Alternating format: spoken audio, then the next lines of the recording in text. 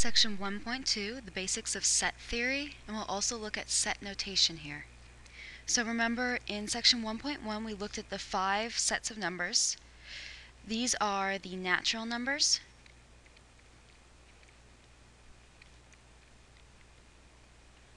and we also looked at the natural numbers including 0, the rational num or I'm sorry, the integers, the rational numbers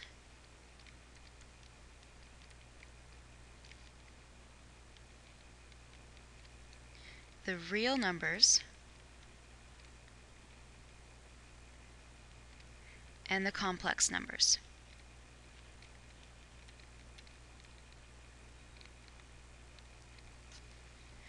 We found that all of these sets are related to one another. That in fact, the natural numbers is a subset of the integers, which is a subset of the rationals, which is a subset of the reals, which is a subset of the complex numbers. And the way we note that is we say that our integers, our, our uh, natural numbers are a subset of our integers, are a subset of our rational numbers, are a subset of the real numbers, which is a subset of the complex numbers meaning all of our natural numbers are also going to be integers plus other numbers. All of our integers are also going to be rational numbers. All of our rational numbers will also be real numbers. There we go and all of our real numbers will also be complex numbers. If you have any questions on this, I'll go ahead and I'll post some videos on section 1.1 to help you make the clear difference between these five sets of numbers and how they're related to one another. You can also go back to the notes that we worked on in class. The first thing we're going to look at with regards to these sets is the size of sets.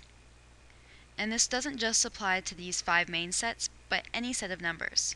So the natural numbers are the numbers 1, 2, 3, 4, 5, so on. But we could have a smaller set of numbers, such as 1, 3, 5. That is a set, and in fact that's a finite set. A finite set is going to be a set that we can count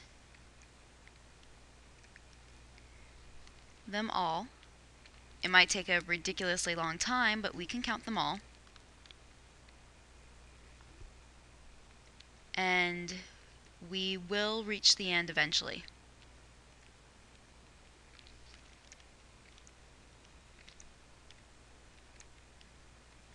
So as I just showed you,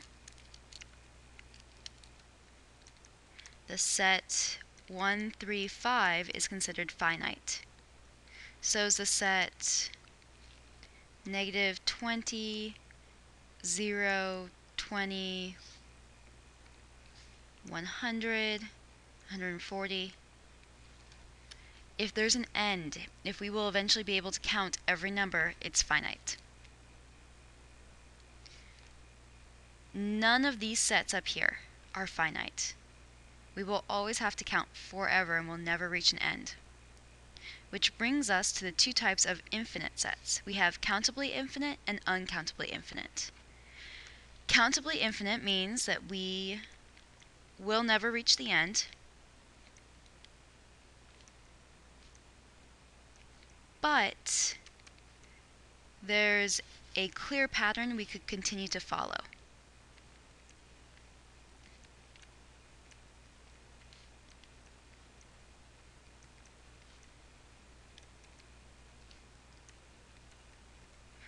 For example, our natural numbers are countably infinite.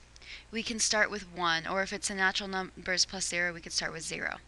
But we can start with 1, and then 2, 3, 4, 5, 6, so on.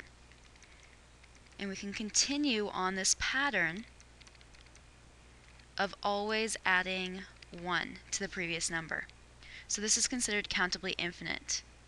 The other sets that we have that are countably infinite are the integers and the rational numbers.